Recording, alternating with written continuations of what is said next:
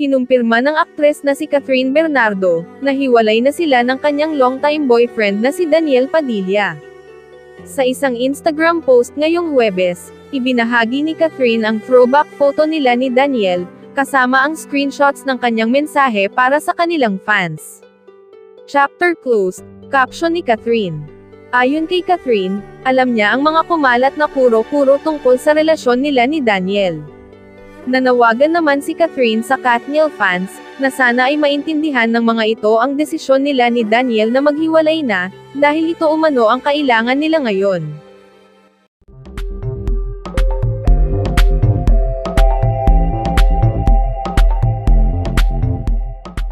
Hindi man sinabi ni Catherine kung ano ang naging dahilan ng hiwalayan nila ni Daniel, pero inamin niyang hindi naging madali ang mga nakaraang buwan, sa kanilang magkasintahan. Matatandaan na kumalat ang isyo ng hiwalayan ni na Catherine at Daniel, nang mabanggit ni OG Diaz sa isang vlog, na palihim umanong nagkikita sina Daniel at ang aktres na si Andrea Brillantes. Wala naman naging tugon ang parehong kampo tungkol dito. Mayroon din umanong kumakalat na panibagong isyo, na ang dahilan ng hiwalayan, ay ang kaibigan ng Katniel, at kasakasama ng mga ito sa Too Good to Be True na teleserye ng dalawa. Ito ay walang iba kundi si Jillian Vicencio. Ayon sa isang kumakalat na post, hindi raw si Andrea Brillantes ang dahilan ng hiwalayan ng Katniel, bagamat totoo raw ang kwento na may nangyari sa kanila ni Daniel Padilla at Andrea, noong nagbabakasyon ang dalaga sa Spain. Ang totoong dahilan daw ay ang kaibigan nila, tropa nila sa teleserye na si Jillian. Kaya raw nagpa-short hair si Catherine sa preview magazine, dahil ang third party raw ay si Jillian, na kung saan ay may short hair rin, na pinatatamaan ni Catherine sa hairstyle niya. Four months na raw cool off ang Katniel, at matagal na raw ginawang bulag ni Daniel si Catherine. Isang artista rin umano ang nagkwento at nagpamulat kay Catherine sa katotohanan, at ito'y walang iba kundi si Su Ramirez. Sa ngayon, nahahati ang mga fans sa hiwalayan ng dalawa. Marami ang na-disappoint, naiyak at umaasa, na sana ay maayos pa ni na Catherine at Daniel ang kanilang relasyon. Samantala, narito ang nakakaiyak na mensahe ni Catherine Bernardo, para kay Daniel Padilla at sa kanilang mga fans. I've been in showbiz for almost 21 years now, 12 years as the one half of Katniel, and 11 years as someone who loved Didge, even behind the camera. I didn't grow up in this industry, constantly being controlled and dictated on. I was lucky to have had the best guidance and support system when I started my career, and I've continuously worked hard to earn people's trust. But since I became an adult, I took it upon myself to take charge of my own life, the projects I work on, the way I dress, the people I surround myself with. I've always tried to be my own person.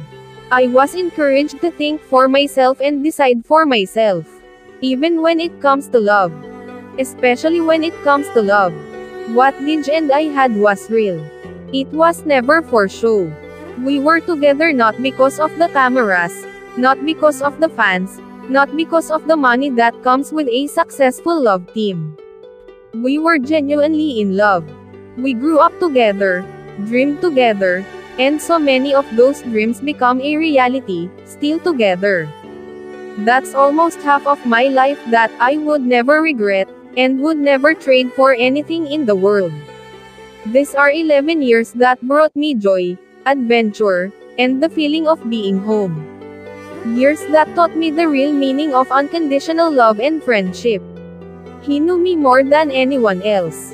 He was my first boyfriend. He was my comfort zone. He was my person. I will always have love for him. I promise to never lose myself in this industry, so I've always been as authentic to you as I can be. I know what many of you are thinking right now. I'm well aware of the rumors and speculations going around, and as hard as it is to put everything into words, I want you to hear it straight from me. It's true that Dij and I, have decided to part ways. Like any other relationship, we tried our best to make it work.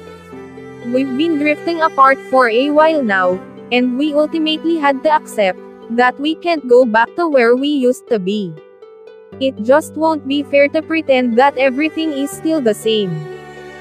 This past few months have been tough, but thank you for giving us the time we need to process the pain, and finally face the elephant in the room.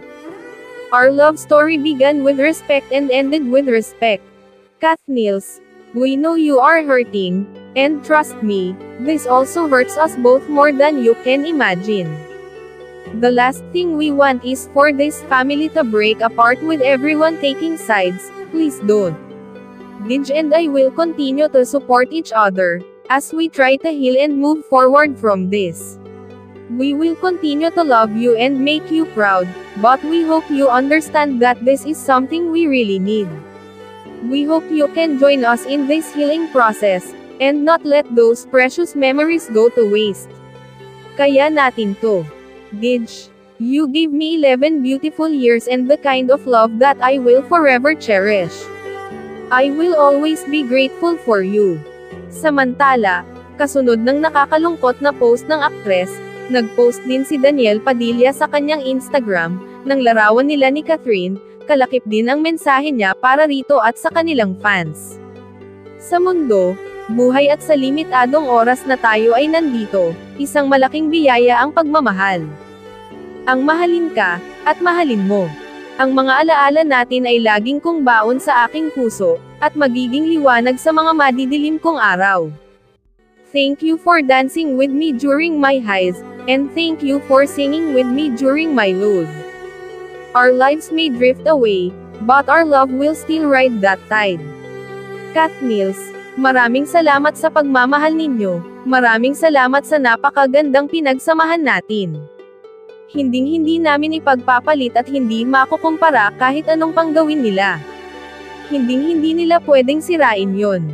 This is beyond show business. Pamilya kayo at mga kaibigan. Magiging mahirap pero kailangan natin yakapin ang kinabukasan. Bal, ang pagmamahal ko sa iyo ay walang hanggan at walang katapusan.